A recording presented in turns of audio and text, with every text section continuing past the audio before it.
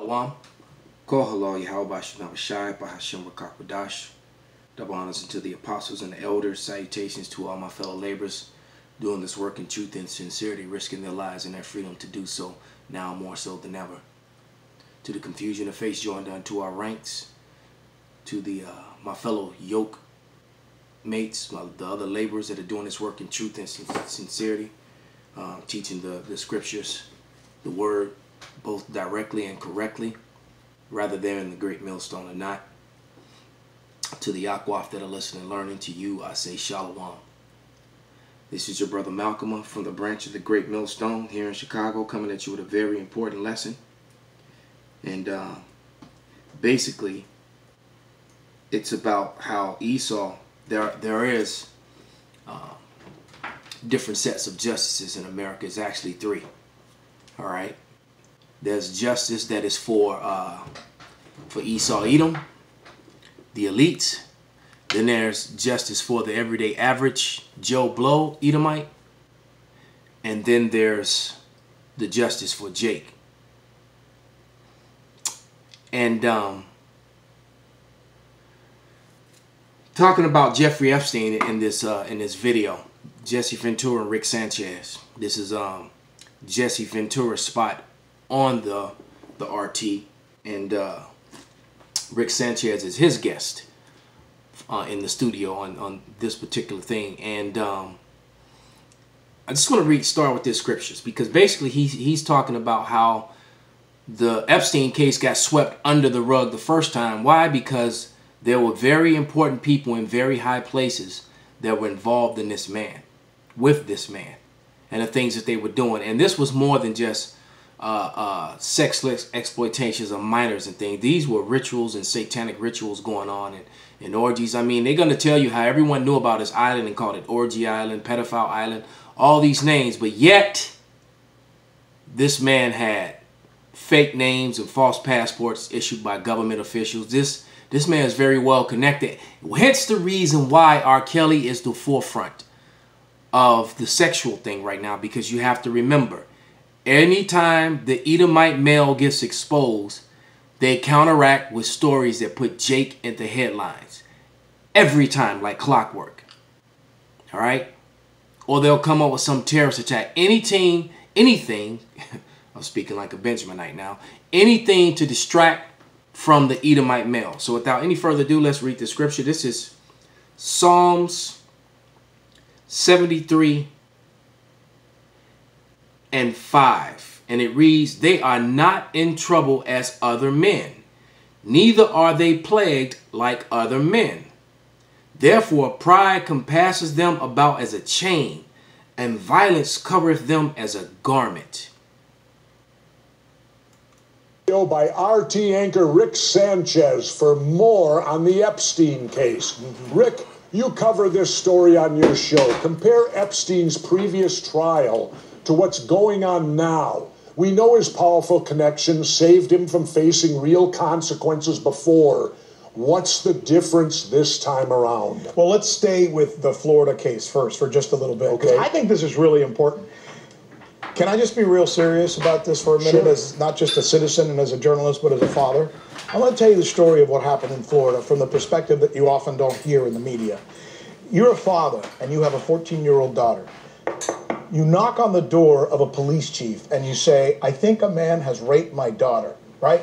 You are going to your government authority figure and telling them that you think something heinous has happened to your daughter. They do an investigation, they come back and you know what they say to you? You know what they said to those 36 fathers in Florida whose minor daughters were apparently raped by this man?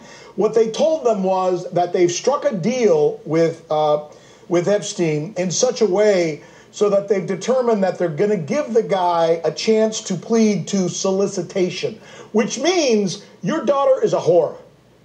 That's what that means. Yeah. Your daughter's a whore. Your daughter is a prostitute. That's what they are saying. Absolutely. Because to those fathers. Because solicitation means he solicited. With a prostitute. Exactly. How can a 14 year old girl be a prostitute? But that is what the case was in Florida. They basically told those fathers and those mothers that their daughter is a prostitute. I think that's sick. I think it's disgusting. I think it's vile. And by the letter of the law, they were supposed to at least check with him first and said, look, we're going to do a plea deal with this guy. We just want to make sure you guys understand maybe there was a real reason to do it. Who knows? But the fact of the matter is they did that. And just from a from, from, from a human standpoint, me as a father of uh, uh, a 17 year old daughter, yep. that just teased me off to no end, man.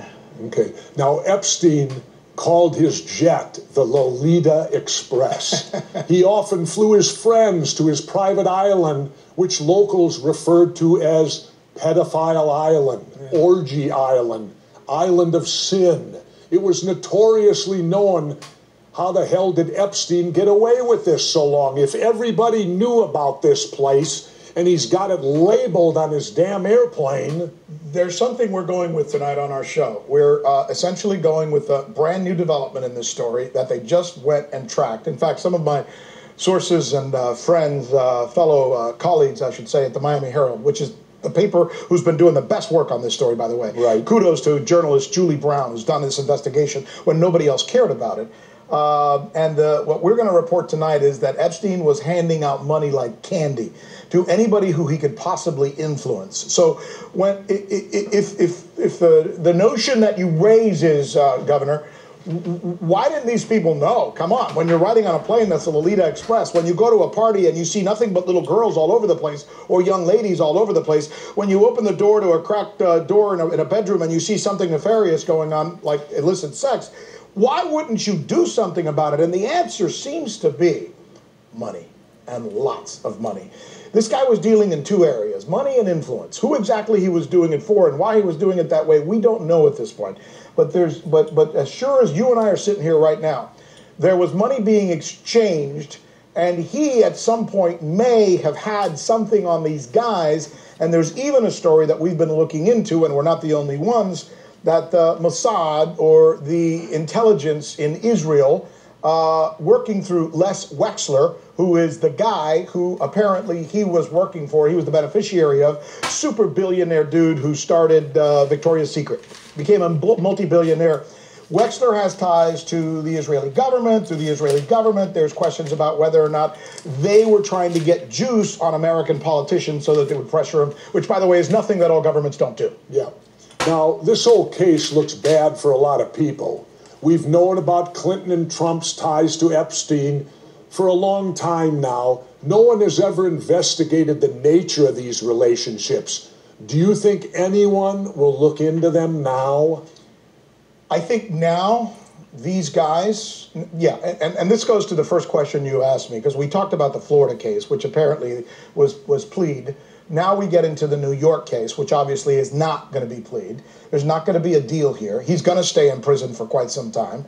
And his uh, friends are sweating because this all comes down to something which is very simple, which again goes back to human nature. If I said to you, Rick Sanchez or uh, Governor, um, you're either going to spend the rest of your life in prison or you're going to be able to give us some information where we're going to let you out a little sooner what decision do you make? Are you willing to give up any one of the names that you and, and we're just mentioning on, on, on the show? Is it Donald Trump? Is it Bill Clinton? I don't know. Yep. Now, the big question to me what do you make of the claims by Acosta that Epstein was an intelligence agent? And is there evidence as to which government he may have worked for? Have you have you delved into that of at all? Of course I have. Because because Acosta made the claim that he was told to back off by powerful people in intelligence. You know, um, you and I both love a good conspiracy, but we also have to be mindful of uh, the reason uh, that people might say the things they do. Um, let's remember that to believe Acosta is to understand that this guy is trying to save his ass, right? He needs a reason to do something that's totally vile and, if nothing else, stupid. Who the hell lets a man walk who's accused by 36 young ladies of rape? He did. He did that. So uh, the one reason I want to not give too much credence to that is because he might be using that as an escape for why he did what he did in Florida, when in actuality there may have been other pressures applied. But if he got pressed, wouldn't he have to say who told him? and lead him, lead us up the ladder a little this bit? is what I mean, if this, this- is legit and he's looking to save his own skin, This is what makes this story yeah, fascinating. is he going to reveal if it's true this upper echelon person if the person did tell him to back off? Now let's move off from journalistic uh, questioning and the type of stuff you and I normally do, and just talk about what the word is on the street. All right. All right. The word on the street is uh, Epstein is not going to survive prison. That's some. That he's going to get killed? What, do- what do we used to call it? What did our parents call it? Rubbed out or something like that. That he just well, I mean, of or course, the old days bumped off? bumped off. Bumped no, off, and obviously, obviously, this there, there's some just you know uh, fun conjecture but, you and I are doing here. But this guy knows a lot, Governor. This guy knows a lot and can hurt a whole lot of people. Do people like that normally then- survive? It- But isn't it apparent then that he has to be kept in solitary confinement then when he does go to prison if there's this fear? You know how many people in prison are uh, end up uh, meeting their demise, whether it's Jeffrey Dahmer or Well, I else? haven't kept track, but I know I've heard. I, Well, no, I don't listen. have a statistical I'm, number. I'm just saying, there's a whole lot of people out there, I and just this is know that pedophiles are not looked upon highly in prison. Exactly. And uh, the You know? nature of uh, something like this happen would be easily explainable, let's just say. And this goes beyond journalistic quandary. So they may actually put him in a prison to get him killed. I'm so that he can't talk about nothing or expose nothing, because that would be an easy way out, wouldn't it? Oh, unfortunately, this murderer over here was angry at a pedophile, and it happens all the time in prison. Look, we're working on a story today as well that has ties between Jeffrey Epstein and Deutsche Bank. Deutsche Bank is one of the biggest banks in the history of the world. I know we broke the story that they're collapsing, but there's the fact that he's tied to some of the biggest tycoons in the world, some of the biggest politicians in the world, prime ministers, royalty, two presidents. I mean, there are a lot of people with a lot to lose whose uh, reputations are tied to this man. And see, there it is. All right. You notice when they said uh, he could meet his demise by some murderer, they showed you a room full of jakes.